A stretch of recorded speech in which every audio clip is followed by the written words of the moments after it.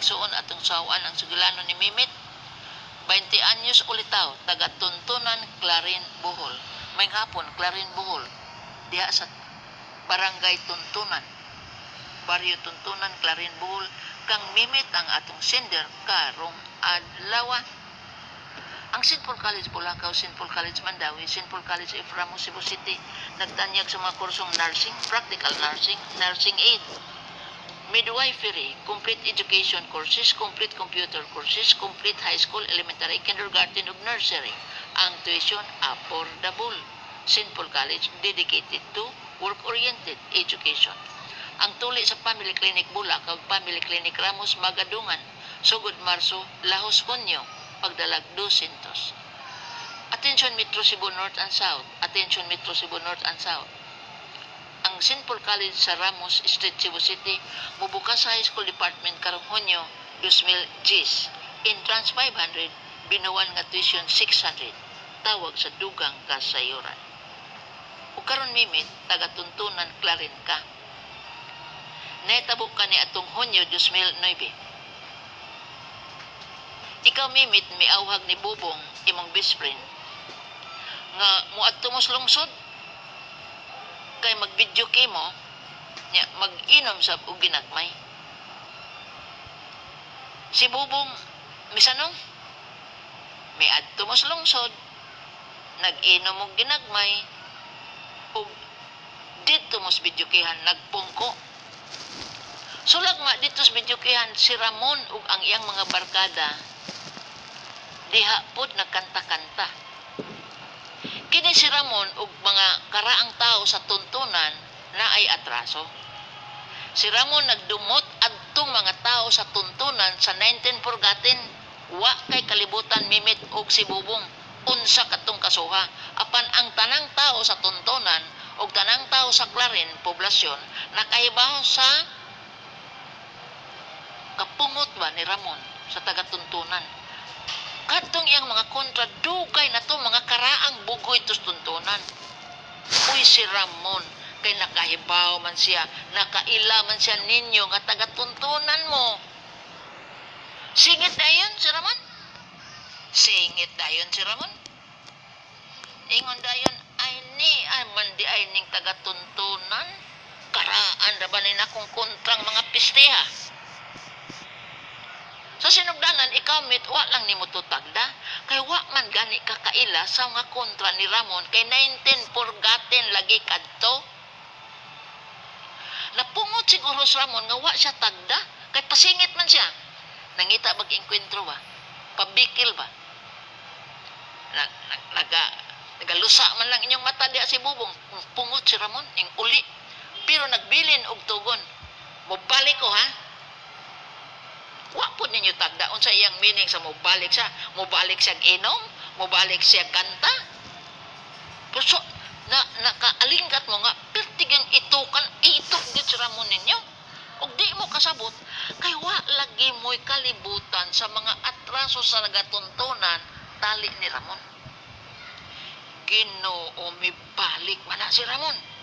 Ug nagdahanag yung hinagiban nga kutsilyo Ingon dahil sa Ramon, o ni anak ko, tudason tamong tanan, mga buanga mo. Kina siguro sa Ramon, guwang-guwang na. Kinya si Mimit, bata pa man eh. Nabawi ang kutsilyo. Gikan sa mga kamot ni Ramon nga andam og tagana nga unta ihansak sa dugan ni Mimit. Nailog man ni Mimit. Unya ang diha sa utok ni Mimit mauni kundi makapatay ko ni Ramon. Si Ramon may mo patay na ko. Patyo na lang nako siya. Ang ang magmagpakamatay mo ko. Nalipong siya na nasira ang iyang pananaw. Gitawag ni Namos Balaod og passion and obfuscation. Ang kahadlok, kaitok, kasubo, kahingawa, nga mapatyan siya, muna'y pasyon ang obfuscation kining mga pagbatia mo kuyanap sa utok ug masalipdan ang utok sa tinud-anay nga kalibutan ug do na siya laing kalibutan nga makita ang kalibutan sa kangitngit mo na obfuscation. Lisod ning in Inglesa kaysa diksyonaryo ra ni sa mga abogado. Sa lubok sa nimo ning makitang obfuscation. Lisod ra ba ispelingon ning buangang wordang obfuscation. Pero ang pagkatinuod, sagol-sagol nga feeling sa usa ka tawo nga in imminent danger of kamatayon. Ang tao na sayod nga kung di siya mopatay, siya ay mamatay. Passion.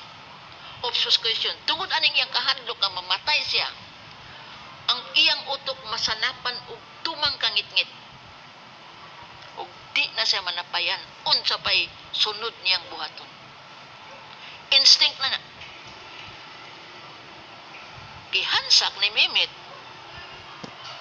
ang kutsilyo sa lawas ni Ramon Kapito. Gidagan si Ramon sa ospital. Paglabay sa walo ka adlaw, namatay. Wa ka gwanta sa mga mortal wound. Taop gitong kutsilyo sa lawas ni Ramon. Kay wa naman manapayan si Mimit, giunsa niya. Pag-ihaw si Ramon. Kay naan naman siya sa panahon sa obfuscation. Ang iyang utok gisalipdan naman sa kangit-ngit. Kini ang sugilanon sa usa ka batanon. 20 years old. Single. Doktora, gikihara ba kog murder? Nga naman kang murder, nga self-defense man to.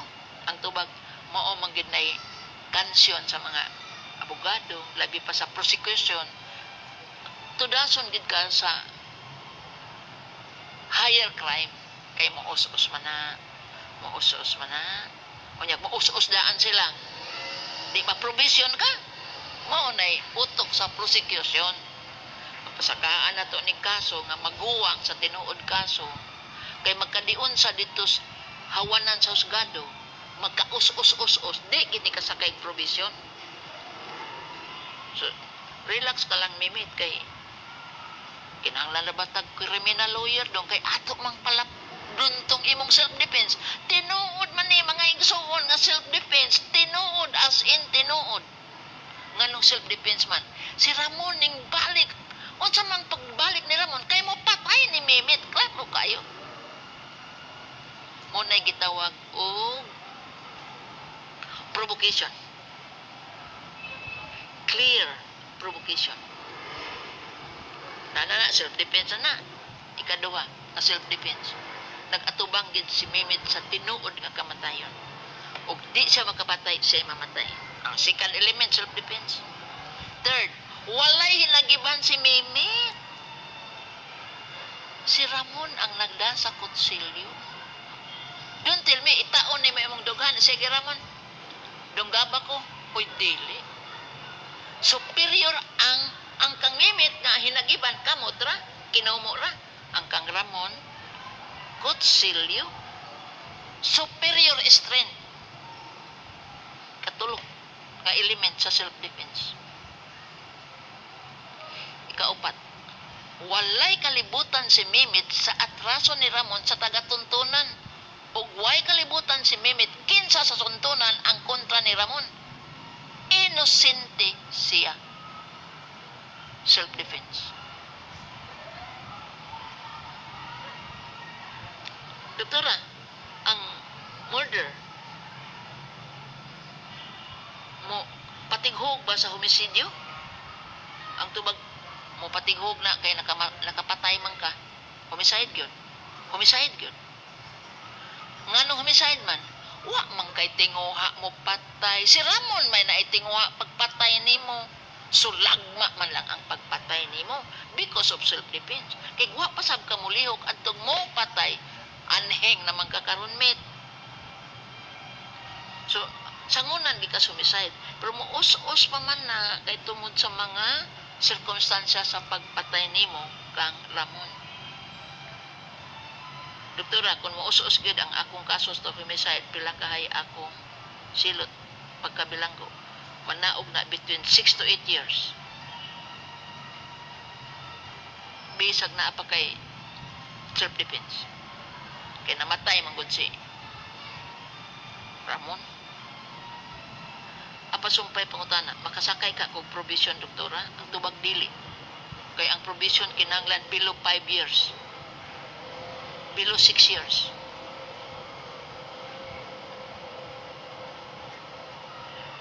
Katulong pangutana. Kung murder gyud ang i-charge doktora og dili balihon og dili mo us sa homisidyo pila day katuig sa bilangguan. Ang tubag dili man gyud ni ma-murder dong kay klaro man ang pagpatay nimo ni Ramon. Dili gyud ni ma-murder.